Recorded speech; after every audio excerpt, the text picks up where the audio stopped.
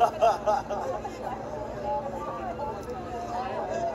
we honor him so greatly for all of his sacrifices. He's a leader like none other. The only thing I can compare him to is Patton. He is a Patton to heart. And we're so proud of him. All my seven children, so proud of him.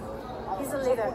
He's a great And mentor. and what what uh, what aspects really make you admire President Trump? What are some what are some things about him? Oh, I love the fact that he's outspoken and bold and courageous. I love the fact that he defends life.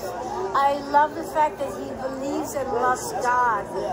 I love the fact that he holds himself humbled to God.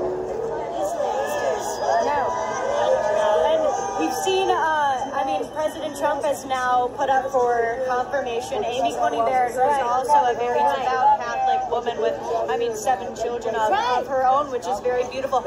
I just want to get your just reaction, your response to her being put up for the Supreme Court. Oh, I think she's fantastic. She happens to be a good friend of a colleague, Paolo Carozza. He's a Notre Dame professor up there, and they're colleagues. Um, she's commendable. She's humble. She's from the Midwest. I'm from the Midwest. I'm from Wisconsin. Love her virtues. Her Catholicism reigns through in every part of her life.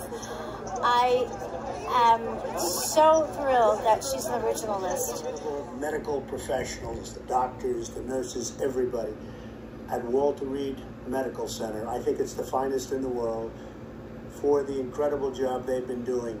Uh, I came here, wasn't feeling so well.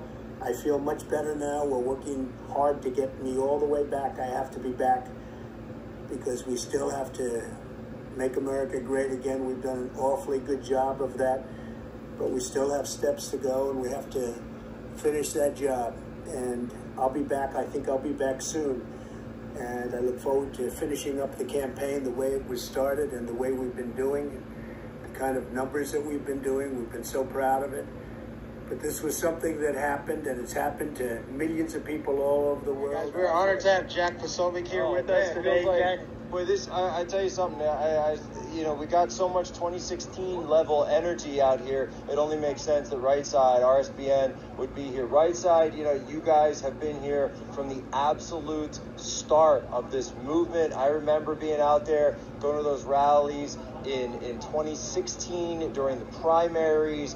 You know, when people didn't know, and it was always RSBN because back in the day, you know, it, there weren't that many people who were on the Trump train. It really was RSBN that I think that was how you know they kind of the network really made their name, and it's you know it's just so great seeing uh, how you guys have blossomed up. Of course, we've you know also come along and, and really come out there. I'm just trying to keep an eye on what's going on behind us. So I, I think people did. I don't know if they explained the situation, but there is a suspicious package that was left outside the very uh, the main entrance there to Walter Reed.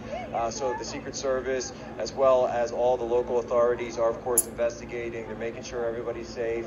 Uh, there was somebody who came by. He said that he thought that it was it was he had kind of claimed it and says, "Look, I was just being dumb and I I forgot it here." But you know, look, obviously under these circumstances, given the situation, they're not taking any chances. So they're doing their job. They're keeping everybody safe. They're keeping everybody out here safe. They're keeping everybody inside safe.